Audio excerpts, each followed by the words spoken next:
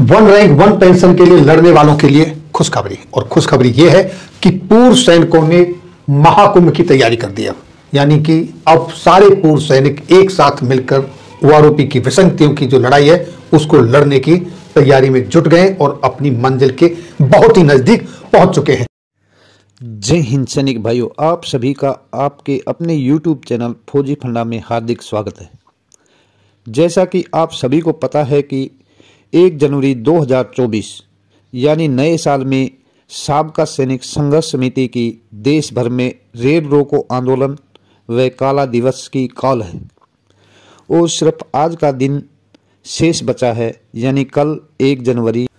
नए साल में इस रेल रोको आंदोलन ने सरकार के साथ साथ सभी पूर्व सैनिक संगठनों की भी नींद हराम कर रखी है और इन संगठनों को लगता है यदि रेल रोको आंदोलन सफल हो गया तो इन संगठनों का अस्तित्व खतरे में पड़ जाएगा। और इसी वजह से ये एक हो जाओ, एक हो जाओ का जो है राग अलाप रहे हैं। वैसे तो देश में हज़ारों पूर्व सैनिक संगठन हैं, लेकिन इनमें मुख्य रूप से तीन चार संगठन ही हैं जो राष्ट्रीय स्तर पर उभर पाए हैं। ये तीन चार संगठनों के नाम हैं साबका सैनिक संघर्ष समिति, जो कि ग्राउंड में काम कर रही है, यानी पिछले 11 महीनों से जंतर मंतर पर अपना ओआरओपी विसंगतियों को लेकर और सैनिकों की जायज़ हकों की मांगों को लेकर धरना लगाए हुए है। वहीं वॉइस ऑफ़ एक्स सर्विसमैन जो कि कोर्ट केसेस के द्वारा पूर्व सैनिक जवान जेसीओ के हक की बात करती है।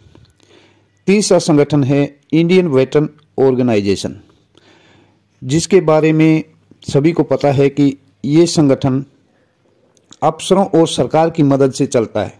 ये सभी को पता है, क्योंकि इनका काम करने का तरीका जो है, उसमें बगैर सरकार और अफसरों के सहयोग के इनका काम नहीं चल सकता। इनका काम ही इस प्रकार का है।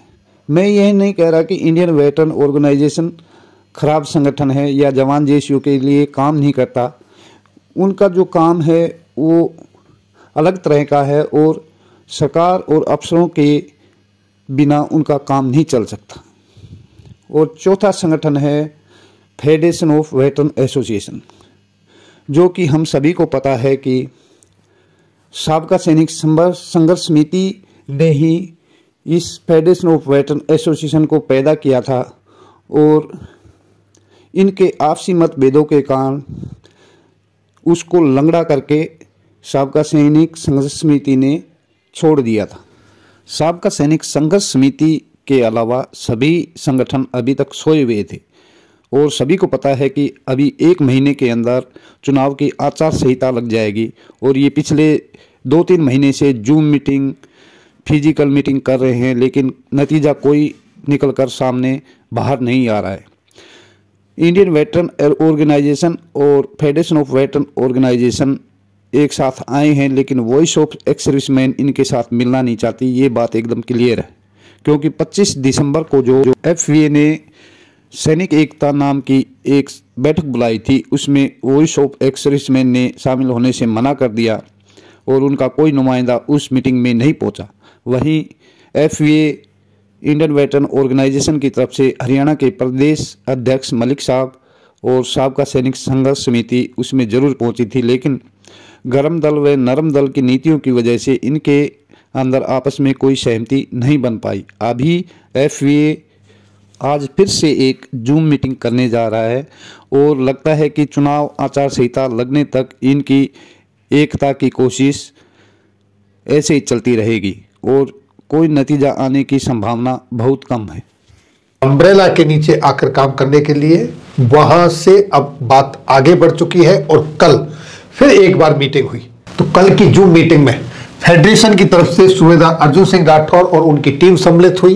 इंडियन वेटर्न्स ऑर्गेनाइजेशन की तरफ़ से वेटर्स जोगिंदर सिंह सेंगर साहब और उनकी टीम सम्मिलित हुई। जय हिंद फाउंडेशन जम्मू की तरफ़ से तरसीम जी ने पार्टिसिपेशन किया, वो सम्मिलित हुए और ex serviceman society and helpline Delhi की तरफ़ से नंदन सिंह रावत जी वहाँ से सम्मिलित हुए और उसके बाद देशवा की तरफ़ से हमारे honorary flight lieutenant Nirmal Singh ji सम्मिलित हुए और veterans of south west Delhi की तरफ़ से कैप्टन एस सी पाठक साहब सम्मिलित हुए और संयुक्त जवान मोर्चा पंजाब की तरफ़ से फ्लाइंग ऑफिसर्स कमल जी और गुलाब सिंह जी सम्मिलित हुए और पूर्व सैनिक संयुक्त संगठन की तरफ़ से श्री राम शिव हरे जी सम्मिलित हुए और federation of JCO ORs Himachal Pradesh की तरफ़ से जगदीश वर्मा जी कल कहीं बाहर थे, उन्होंने कहा कि अगर मैं टाइम पे पहुँच गया तो सम्मिलित होंगे, लेकिन वो सम्मिलित नहीं हो पाए।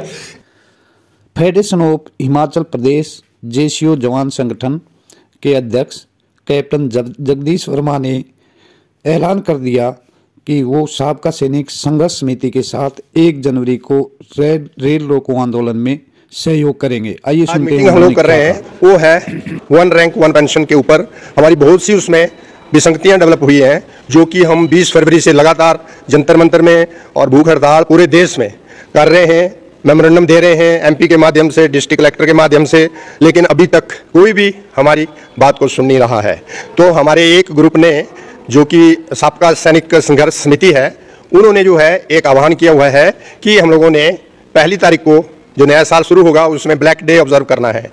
और उसके साथ ही उन्होंने कई जगहों में जो है, ग्यारह में बोल रहे थे, लेकिन पहले जो है, अभी पूरे इलाके, पूरे हिंदुस्तान में उन्होंने ट्रेन को अब्रप्ट करना है। उसके बारे में बताएँगे नहीं पहले, लेकिन ट्रेन सर्विस को सस्पेंड करना है, ताकि गवर्नमेंट के पास जो है इस बात को पहुँचाया जाए कि जो भूतपूर्व सैनिक हैं, जो आज से कुछ समय पहले सरहदों की रक्षा कर रहे थे, आज जो है वो धक्के खा रहे हैं सड़कों पे, कभी नारे लगा रहे हैं, कभी ठंडी में इधर उधर घूम रहे हैं, बुज़ुर्ग लोग हमारे तो गवर्नमेंट को इसका संज्ञान लेना चाहिए। तो दोस्तों, अभी आपने कैप्टन जगदीश वर्मा साहब की बातें सुनी। वहीं इंडियन वेटरन ऑर्गेनाइजेशन के हरियाणा के प्रदेश अध्यक्ष मलिक साहब भी अपनी तरफ़ से कोशिश कर रहे हैं और उन्होंने कल हिसार में एक मीटिंग की। आइए सुनते हैं उन्होंने क्या कहा।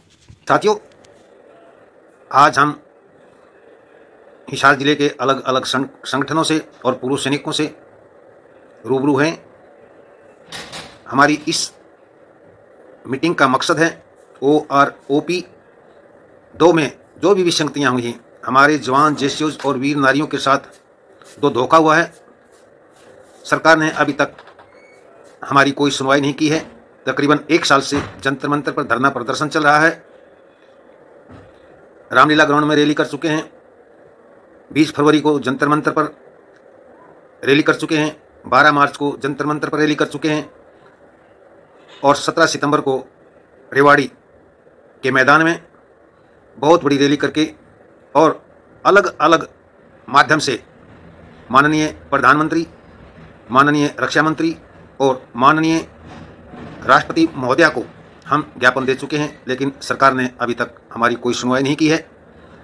अभी जो ये मीटिंगें चल रही हैं और आज की मीटिंग का जो मकसद है, सभी पूर्व सैनिक परिवारों को, भारतवर्ष के जितने भी पूर्व सैनिक हैं, उनको एक मंच पर लाना, एक फ्रंट तैयार करना, जिसका कोई भी अध्यक्ष नहीं हो, एक कोर कमेटी तैयार हो, और उनकी सलाह से ही एक ही कॉल पर हम कोई भी धरना प्रदर्शन या रैली करें। यह रणनीति अगले तीन या चार दिन में नव वर्ष के प्रथम सप्ताह में ही इस फ्रंट की घोषणा की जाएगी और एक कोर कमेटी तैयार की जाएगी, जिसका एक ही झंडा होगा, ना कि अलग अलग संगठनों के कोई लोगों या झंडे होंगे। आप सभी के सहयोग की ज़रूरत है। जब तक हम एक नहीं होंगे, तब तक सरकार हमारी बातें नहीं सुनेगी। आप सब यहाँ पर अपना कीमती समय निकाल कर पहुँचे। और सभी ने इतने अच्छे अच्छे विचार रखे।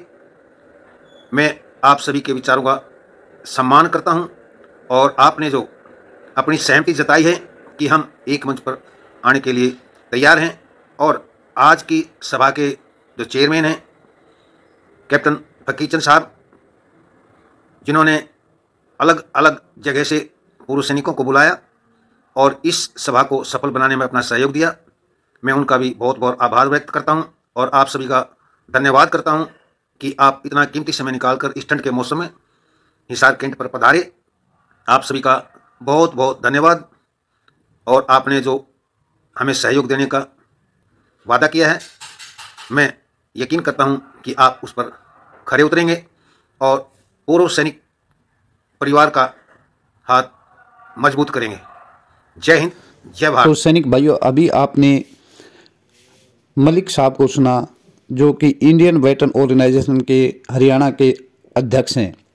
लेकिन यहीं, वहीं पर सबका की तरफ़ से आरोप है कि ये संगठन पिछले 11 महीनों से कहाँ सोए हुए थे और ये हमारी एक जनवरी की रेल रोको आंदोलन की काल को तोड़ने के लिए इकट्ठा होने के नाम पर ये साजिशें रच रहे हैं ताकि रेल रोको आंदोलन फेल हो जाए। वहाँ पे रखा गया ये कि पहली बात तो ये कि तुमने एक जनवरी से पहले ये मीटिंग क्यों रखी?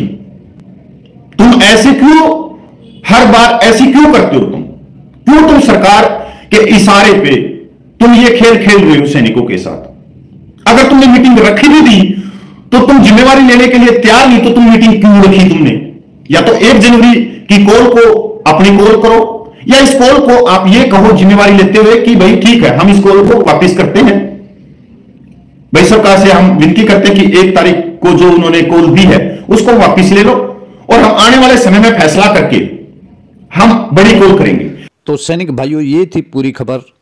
आपको ये खबर कैसी लगी और आप सैनिक एकता के बारे में क्या सोचते हैं, कमेंट बॉक्स में ज़रूर लिखें और वन रैंक, वन पेंशन के लिए चल रहे आंदोलन से जुड़ी खबरों को जानने के लिए मेरे चैनल को शेयर, सब्सक्राइब और लाइक ज़रूर करें।